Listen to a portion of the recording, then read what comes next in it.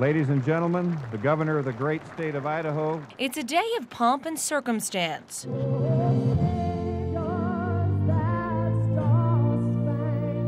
When Idaho's incoming leader promises to uphold the Constitution. I, Dirk Arthur Kempthorne, do solemnly swear.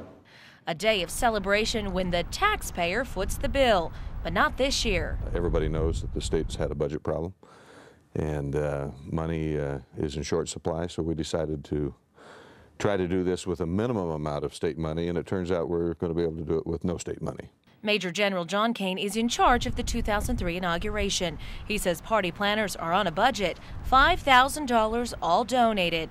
The stage borrowed from BSU, the blue draping recycled from another recent event. That contrasts with four years ago when the stage alone cost $20,000. It's not been hard and it's not been totally easy either. I mean, we've had to do some work to make this thing happen. As for the inaugural ball, Oh boy, I tell you, these flowers look great. taxpayers won't pay for that either unless they choose to by purchasing a ticket. Major General Kane says the public needs to see an inauguration befitting a governor.